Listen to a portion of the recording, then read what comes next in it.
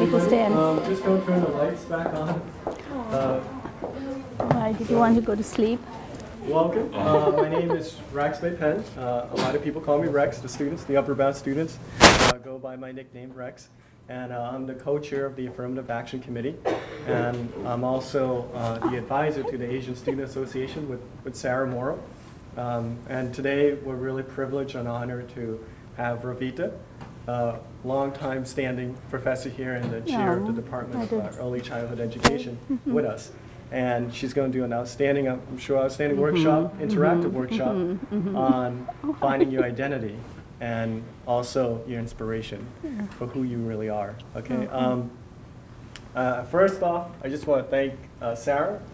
This is our third, actually, um, Asian American, Asian Pacific American Heritage Month celebration, and Sarah's the one who came out with the idea uh, to even celebrate Asian Heritage Month because a lot of people don't know about it, but it actually occurs in May. Uh, but because of final exam week, we have to do it in April. Um, Ah. so uh, Sarah is the reason for this celebration, and uh, also also uh, for the biggest idea of them all uh, for our next week uh, event for Daniel Coe. So I wanted to give credit where it's due, and um, I, I thank her a lot for helping me, for mentoring me, and also for making this. We're very happy to have Ruth. Thank you. Yes. Oh, and lovely. Ravitha. um, so a little bit about Ravitha. What is? Oh, and that's Just a little bit. I don't want to embarrass her. embarrassing. 'cause Right. She's I very told modest. but- Yes. Um, I don't know about that, but. mm. She got a master's uh, from Oh. Wheelock College um, Mhm. in leadership, and she got a PhD, uh, doctorate in education, uh, in uh, adult development Mhm. okay, uh, education. So, uh, as I said again, long time, time standing faculty uh, champion for diversity. Hmm. You can see that throughout her published uh, newsletters and articles, and also she won a lot of awards, but just to name two. All right, uh, Center for uh, Creative Leadership Scholarship, she, uh, and also the President Faculty Award um, from Mount Ida College in Newton, Mass. So, and she has certificate in uh, dismantling racism, uh, foundation of leadership. So this is the perfect person to do Oh, an identity geez. workshop. I'll hand it over for, to Ravitha. Wow. Thanks. Thanks, Rex. And uh, thanks, Sarah. I mean, I think he has set me up so high, I'm so afraid that now your expectations have gone way up over there. So he's probably setting me up for what, I don't know. Anyway, I'm delighted to be here because, um, like he said, this is certainly, uh, maybe this is something I have learned. Maybe I should say a tiny bit why I am the way I am at this point. um, well, like many of you, you will go to school, college, and you don't think a whole lot about what you're being exposed to until you really live in the real world. And um, for some of you, um, so maybe I learned most about living in the United States is maybe traveling to 35 different states and trying to create uh, professional development systems for early childhood education. So our charge was to engage as many of the stakeholders as we could in each state. And often it was always hardest to get those who are um, invisible at the table of decision making. So maybe uh, much of what I'm sharing with you at the PowerPoint, which will be later, probably that's the source for me. So probably even going, getting a master's and doctorate wasn't that much of an education as much as going out, interacting with people, processing that. That was my biggest education, I would say. Uh, but we all need this paper qualification. So you should go to college. Don't deny yourself that because without that you have no leverage in society. um, so I don't know if all of you have had a chance to be, and you know our topic for today is really individual identity and humanity, because I think all of us are looking at, I guess since your birth, everyone is trying to make you into someone, and in the process, you are also trying to make yourself into someone. And uh, I guess it is a lifelong process. So we're starting with individual identity, and we're thinking about humanity because we all live in groups, whether it's family, neighborhoods, um, what else? What would you add to that? Neighborhood and state, and then you have nationhood, and then ultimately we are all just on the planet, right? So in a way, we have a we have we belong in many different circles, so to speak, right? So that's why we have. I know some of you came here a little late, but not to leave you out. Um, maybe somebody could help me, Rex or someone. So we're going to give you some post-it notes for those of you who didn't acknowledge your arrival over here. We're going to first start looking at who am I. Both you can do two post-it notes. On one, you're just going to write a word that only for those who have not already responded is who am I in terms of uh, how you see yourself. And uh, on another post-it note, you can write words that may be how other people see you. Okay. Um, the reason we're doing that is because that's how I guess we're all forming our identities, or some of us have already crystallized our identity to some extent, at least the exterior, but we can still work on the interior aspect of ourselves. Um, so let's see what's over here.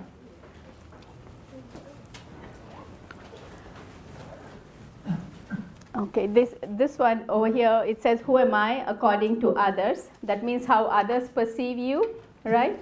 Um, proud of myself as a jokester, warm hearted, optimistic, random, friend, unique, antisocial, smart, beautiful, kind, loud, funny, obnoxious. Okay. So that's how others are perceived. Flamboyant. That's interesting. Okay. Um, so that's how other people are seeing certain people, right? And then according to me, I don't know if somebody, maybe I should, maybe I should walk up, or maybe somebody wants to read it. Let me see what it says there. Thanks for coming. okay, over here it says I'm perceived as mom, wife, professional, doctoral student, antisocial, dancer, singer, daughter, student, singer, sister, student, artist, friend, student, daughter, singer, friend, daughter, student, funny, honest, artistic,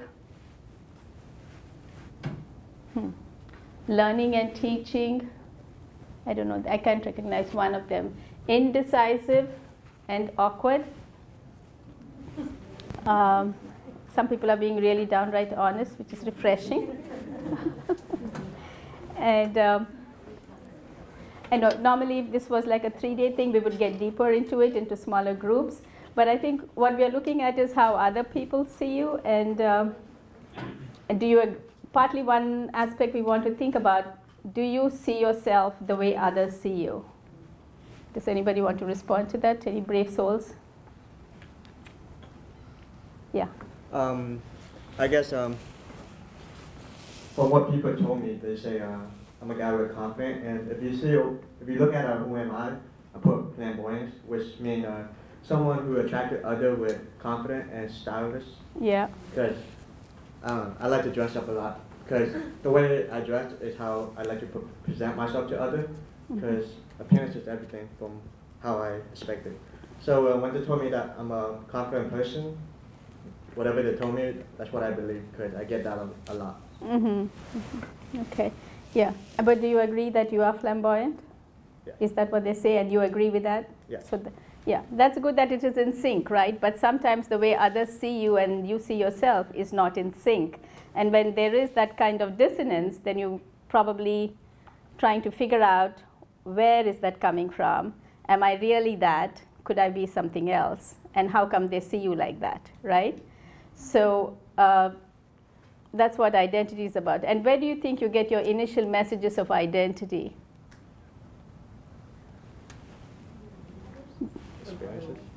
Others, yeah. Who might be your first circle of others? Family family. So, do any of you have any interesting anecdotes about nicknames that have given to you that you want to shake off, but it's still stuck? Marshmallow. Yeah. You want to say? Go ahead. Marshmallow. You said marshmallow. and do you want to say what? Say that. What does that mean? It's young, yeah, youngest. Basically. Youngest. Kode. Yeah. And what language is that? Creole. Oh, Creole. Oh, okay. Youngest. That means you're and sometimes, I don't know, what would be the context for saying marshmallow? Uh, wait, what is, nice. so that? Too nice. One sweet. Say that again. Too nice and sweet. Oh, too nice and sweet. Oh, sorry if I see that's a cultural gap, right? Because I don't understand what marshmallow means. But he's saying the reason they give him the nickname marshmallow because he's too kind and too sweet. And that might also be that you're very flexible, easygoing, you give it, it might have all those meanings, right? So, in a way, when you get those messages very early, sometimes we internalize that and then we begin to be that sometimes, right? And maybe you, even though you have shaken it off, sometimes the family and friends haven't shaken that image off of you.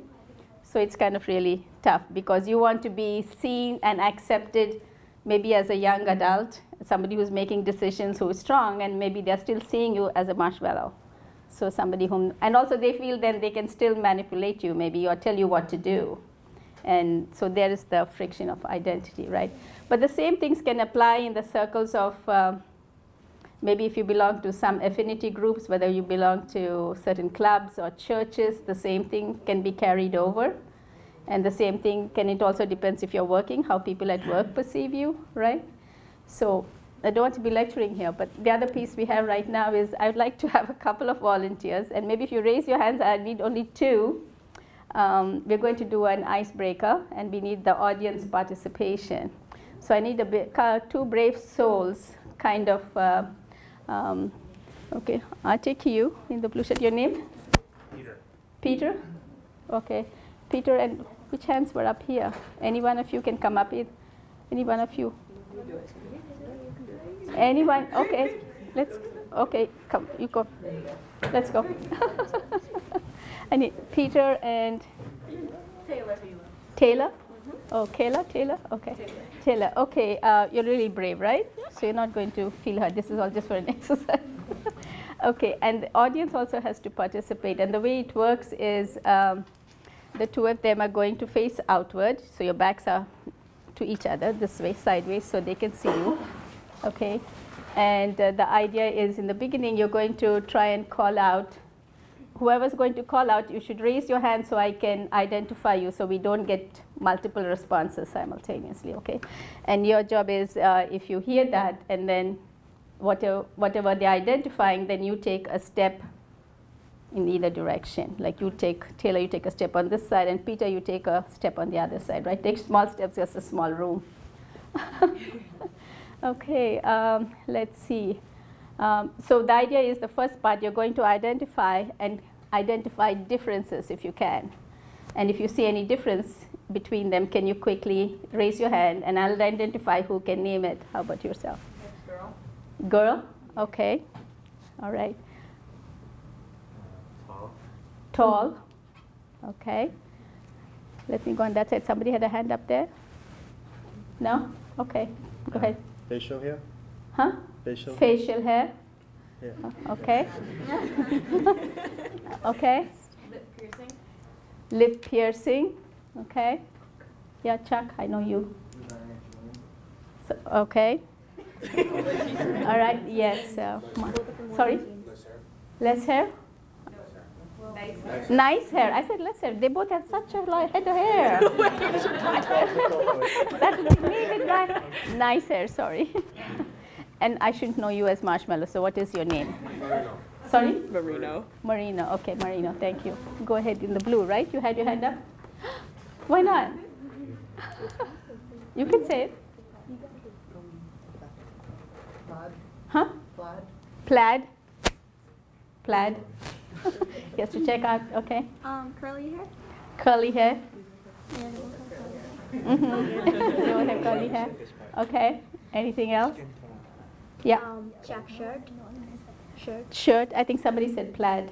Plaid and check is same. Okay. Blue shirt. Hmm? Blue shirt. Blue shirt. Yes. Uh, skin tone? Skin tone. Okay. Yeah. Okay. Both would move for skin tone. Yeah. Okay. Anybody else? Anything else you see different? Okay. Short. Short. yeah, you had something? Yeah. What about the shoes? Shoes. Black shoes and white sneakers. Mm-hmm. Okay, all right. So now can, for those of you who know, many of you know them as individuals as well, I think, right? So now can you find things, the ways in which they are similar? Yes. Intellectual. Intellectual? Okay, there we go. Yeah, move back one step Okay, inward. Thank move you. Right. Go ahead. Confident? Confident. Guess both are confident. Yeah, take one. I'm confident. Well, you didn't know that, see? okay. There you go. Your friends know you're confident.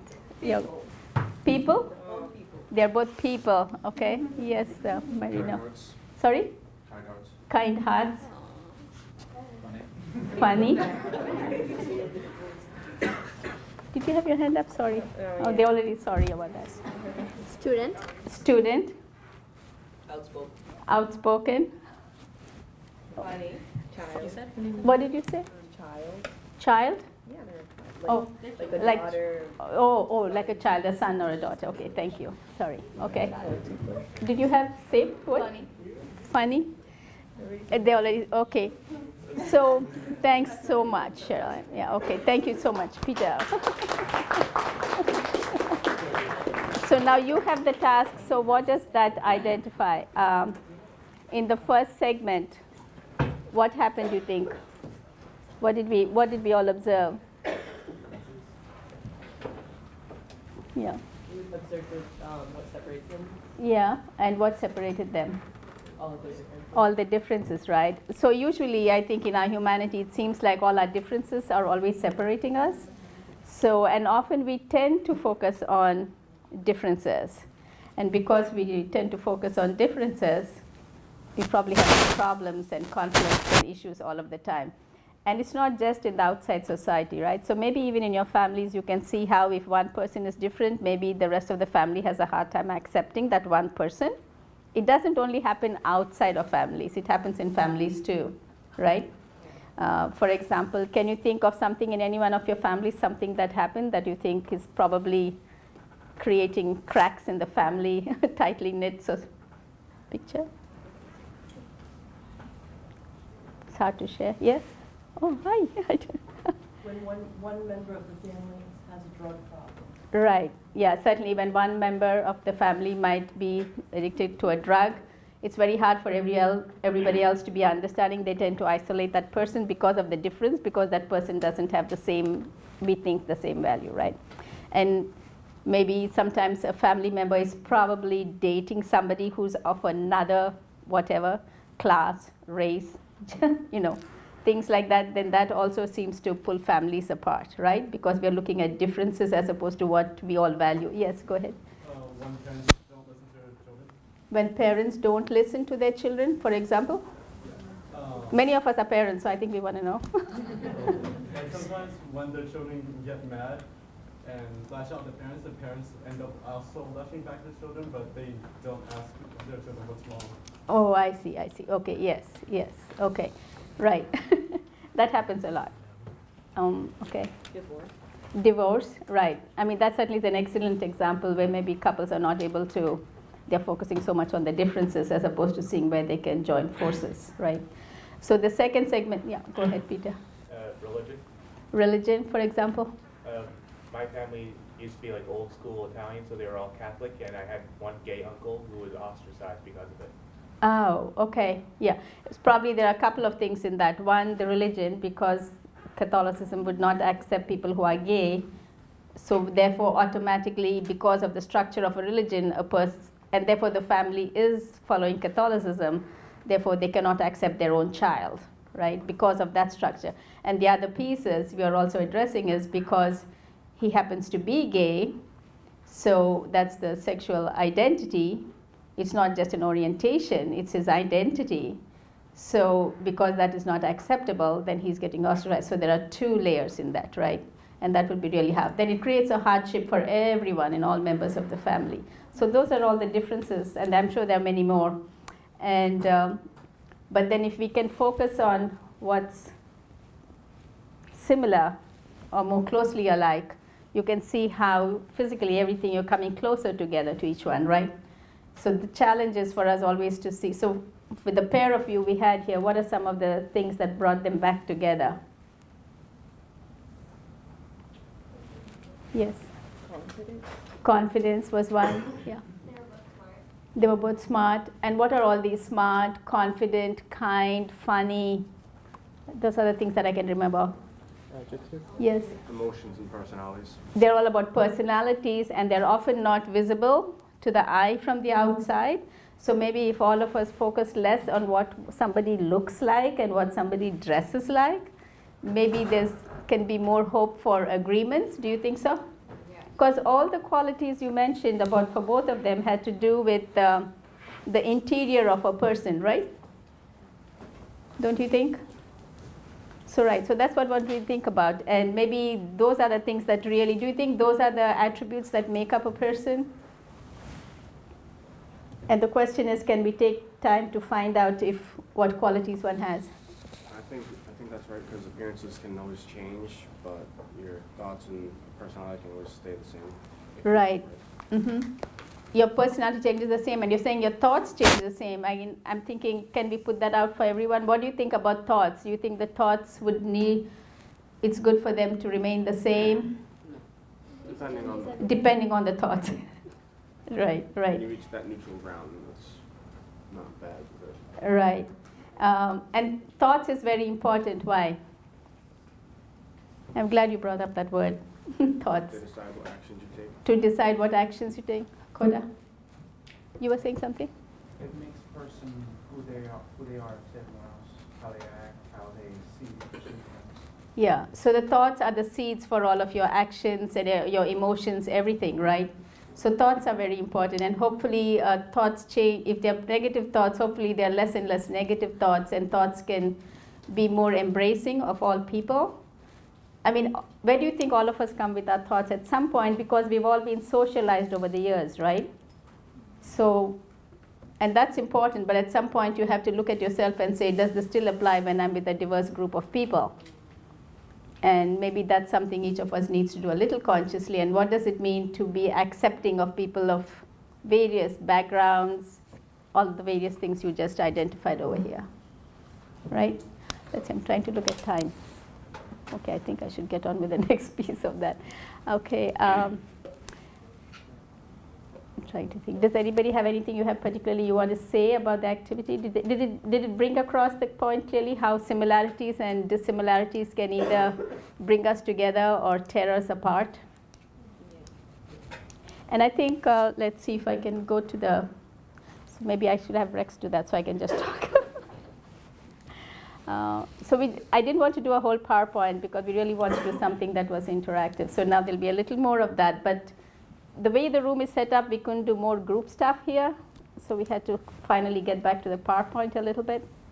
Um, okay, maybe we should turn up the lights a little bit.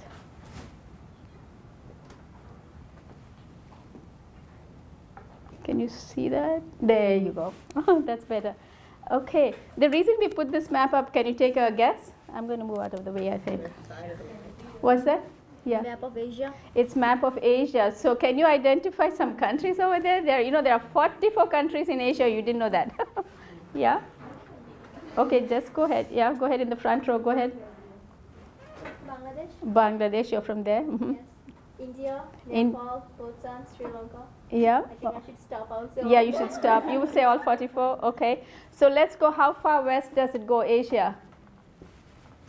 How far west is Asia? What's the farthest west? You think? Yes, Koda. Sorry. Yep, it does go all the way to Jordan, and I didn't know, but even Israel is part of Asia, or was. Because Asia, I mean, Israel only became a country after, when was it? 1948. 48, right? I was going to say 47, but it's 48, right? So, right, so you're going as far west, and how far east are you going to be Asia? Japan, and then there's the whole block of Russia, right? So you can see Asia is huge. But you, you often, when you think about Asians, who are the people who come to your mind? Chinese, Chinese. yes, Chuck. Japanese. And yes, I think when you're in Cam, certainly in Fall River, people certainly identify, not everywhere, but yeah, Cambodian, right? Yes. Sorry? Middle East? Right, okay. So it's interesting to think how when the word Asia comes up, what, who comes to your mind first, that's something you need to think about, so you can expand that thought process to include more countries than just Japan and than Japanese and Chinese, right? Um, okay. Um, and what else do you think? What does it mean to be Asian, in your opinion? You can say things either nice or not nice is okay. Um, Asians. What are some of the things? We were going to do a whole thing on about uh, the kind of names Asians get called, but I didn't think we had time to go through that group process today. Yeah. Go ahead. Strict childhood. Strict childhood. Yeah. Okay. Good students. Good students, says a faculty member. Really smart. really smart. So, okay, good students, really smart, strict childhood, Good math and agriculture. Yep. good math and Agricultural. and, and agricultural, okay, or farming. hmm hmm And for those of you who are Asians, does what does this do to you when you hear that this is the perception everybody has of Asians? Yeah, go ahead, all the way down there. That is way, way, way too generalized. That, what is too generalized? What is too generalized? I don't know how to do this. Give me a second. Say that again, sorry. Pass it on to someone, okay. Well, I think eh, to some extent uh, everybody does have general impressions of different groups, right? So we were trying to just get at that. That doesn't mean that is true or that's a fact. But in general, I think people do have a belief that Asians are smart, they're good at math. Um, that doesn't, but that does put a pressure on the young children, I think, right? Because if they want to be an artist or be something else, it, it's tough, tough, tough, tough, tough, both family wise as well as in perceptions. Just to give you an example, when I first came here in the 80s, right, I went to the refugee camp in Boston because I had an assignment like all of you do. So I said, this is one way to know what's going on. And I always wanted to work with the underserved. That's just me. So I went to Boston refugee camp, and there they were assigning people for training for work uh, to be get employed. I asked him how he was deciding this, the manager of the training center for employing refugees who come into United States, exactly by what you just said. Many of the Asians were all put into programs that had to do with computers and math, and the Russians were with languages, and um, something else. So I thought, oh, that was interesting. That at that point I hadn't understood how you can be perceived and put into a box in United States, and accordingly your path may be changing that way. So you, that means if you don't want to be in that particular group, you have to very, work very hard against the tide to move out of it and still be successful. So I think it's um, interesting that. Does anybody else want to add to that one? So, so many of, yes, where was that? Did I see a hand? No. So many of you are in high school. I think talking to many people, both of Asian descent in Fall River and elsewhere, I hear you all have to put up with a lot of name calling by peers, right? And maybe, I know it might be hard for you to share that. I'm not putting anyone in that position because we are such a big group. It's not fair. But I think that's something to think about. Uh, when somebody does that kind of name calling, what does it do to your identity and uh, where do you go for your own, um, where is your inner spirit? Where does it get grounded so you can still, you know, not pay heed to that. You want to don't want to acknowledge it, but also maybe in some ways you're listening all the time. So you have to figure out how to deal with that. What do you deal with that anger? You know, because you know internally, just like you said, you're all different people, right? But just because somebody else says that, you have to somehow keep that at bay. And that's not easy for all of you who are young and you're still evolving and forming your identities. You have to work very hard. And you still want to have all your friendships, so it's a real challenge, you know. So you have somewhere to go because you find all of us need our social circles. So we did this Asia because this is Asia Student Association and we thought it would be interesting to so there are 44 countries in asia i didn't know there were that many myself actually okay so we can yeah what is that? Yeah that's right. Is it america? It is what? North America. it is north america right.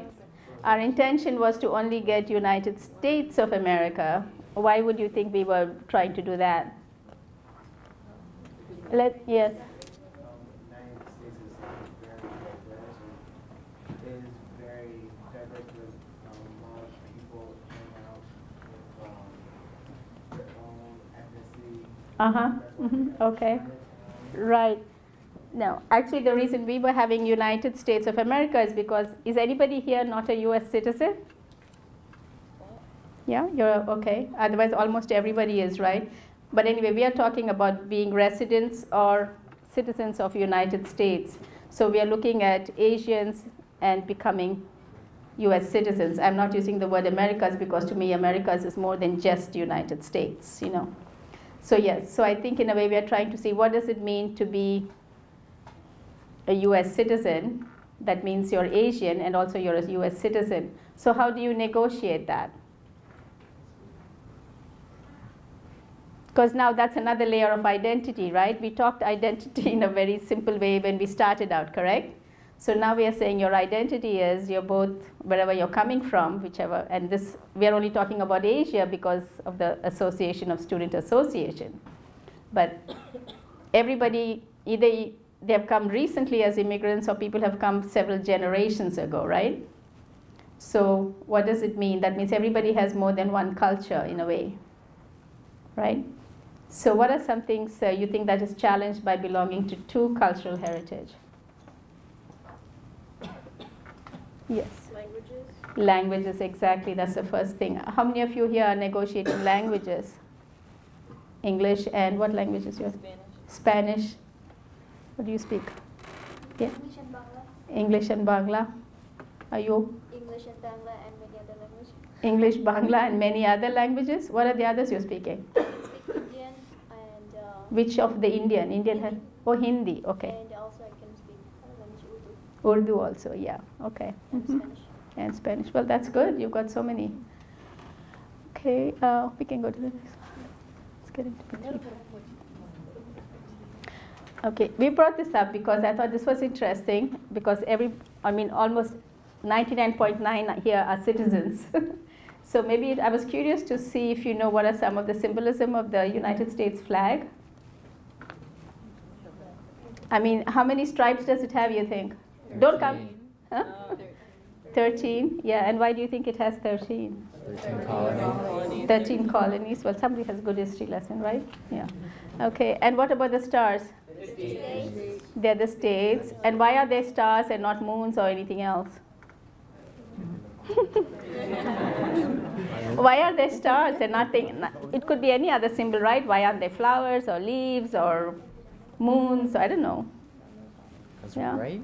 Huh? Because they're bright? Because they're bright? yes. Sky is the limit. You're kind of close, yeah, because I think everybody's saying you're always reaching outward and to aspiring to be connected to the divine, to the divinity. So that's why you're looking up to the heavens. That's why it's the stars and not any other symbol, which was interesting to find out too. Okay. Um, so I know everybody's pledges allegiance to the flag, right? So what does it mean? So where do you, you know, so how do you seek power from the flag and its symbolism? Okay. Hmm? Freedom. Freedom, yeah. So that tells you that you have certain rights, right? Within that. So maybe you have to also begin to claim that. And nobody's going to give it to you either. You know, so it's going to be a struggle when you have two cultures, right?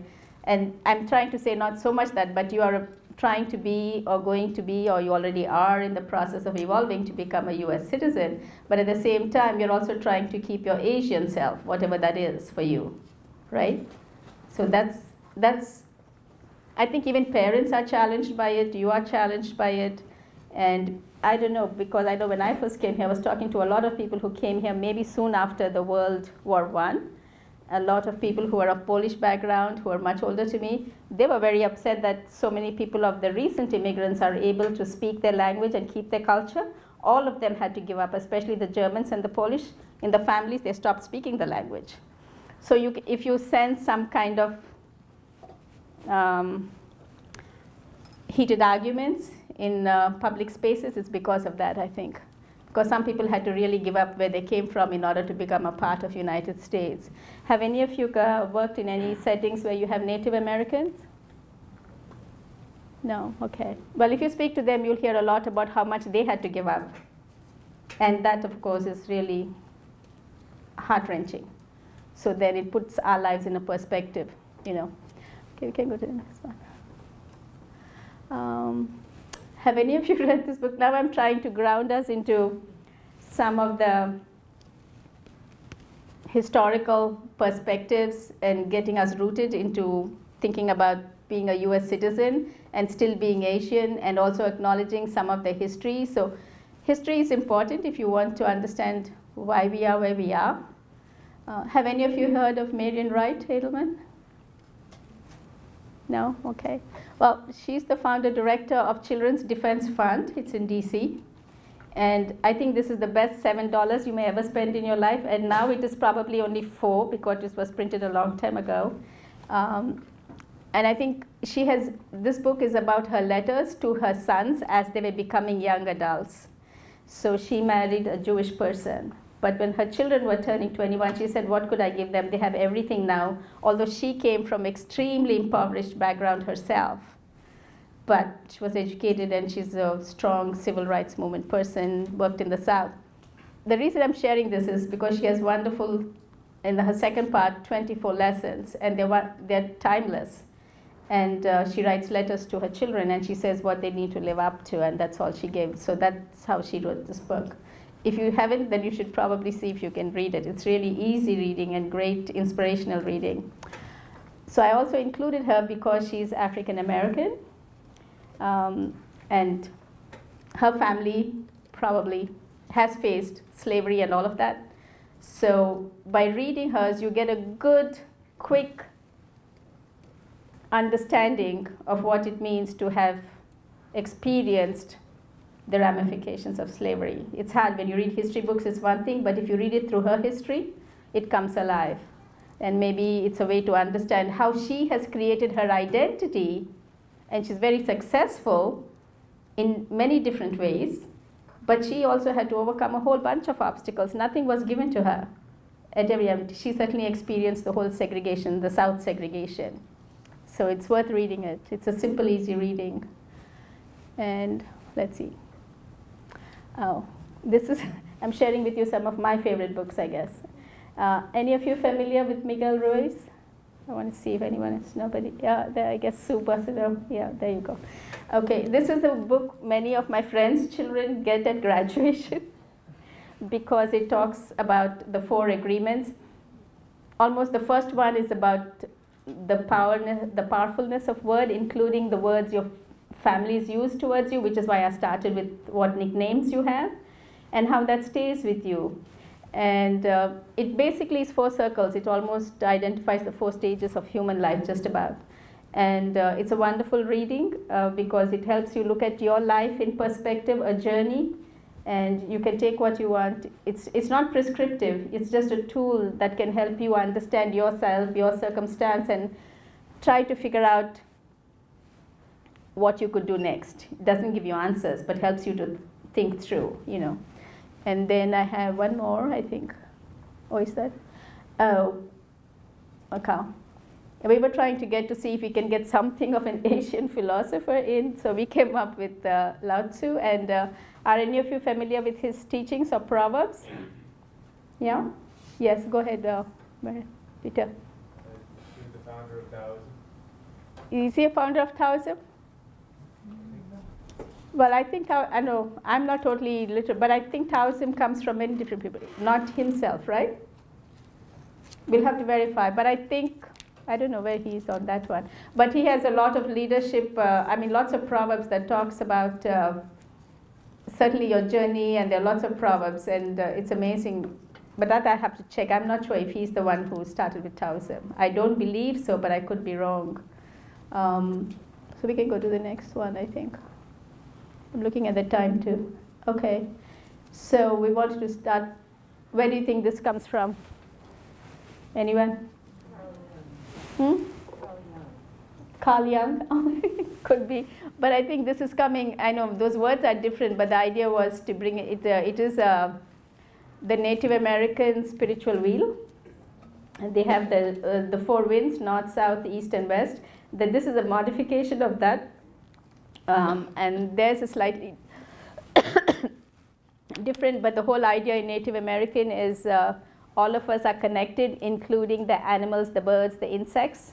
So part of it is always balancing all aspects of your life. The central piece as a human being is always striving for balance, and also about that's why they're saying to be centered is really important. So certainly all of these aspects have been translated from the Native American uh, spiritual wheel.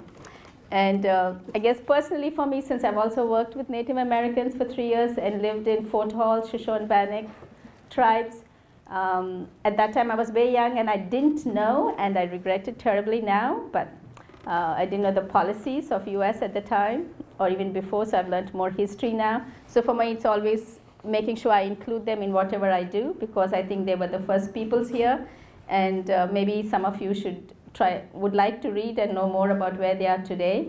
They certainly are still struggling to come back, and uh, many of their elders have always told us that every time an old person dies, it's like a whole uh, book is lost because they're losing their language. Many of them, so it's a very sad.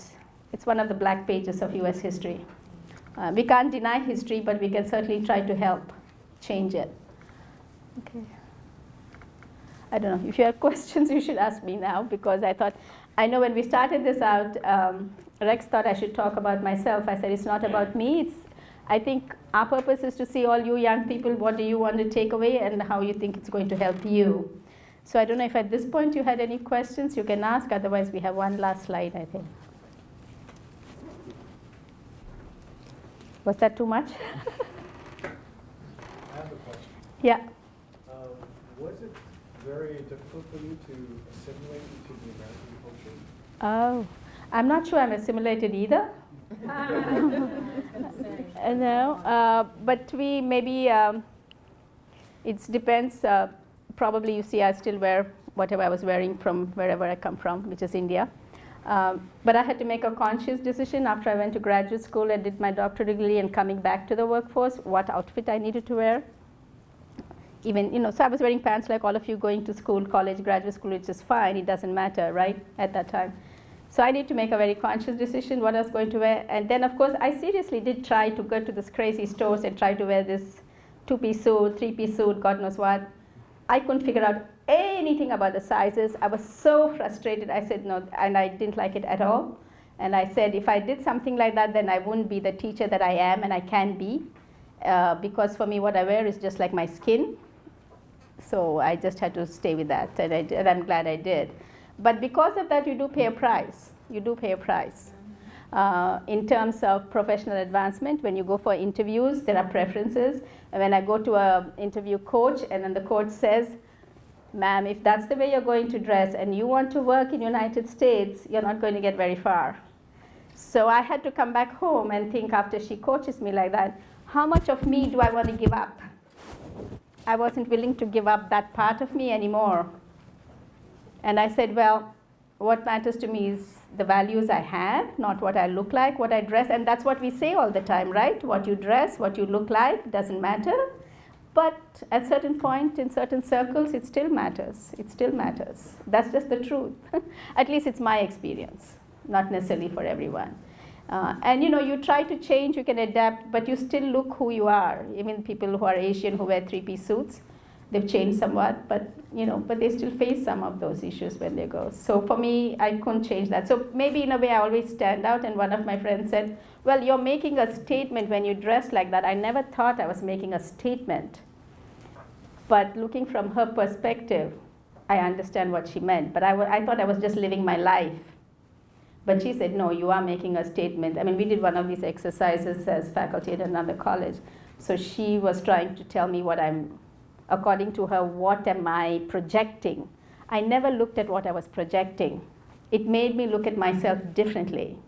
That even though I'm not consciously doing, but because of just the way I am, I am projecting something all the time. So I've become more aware of that because of that exercise. Yeah.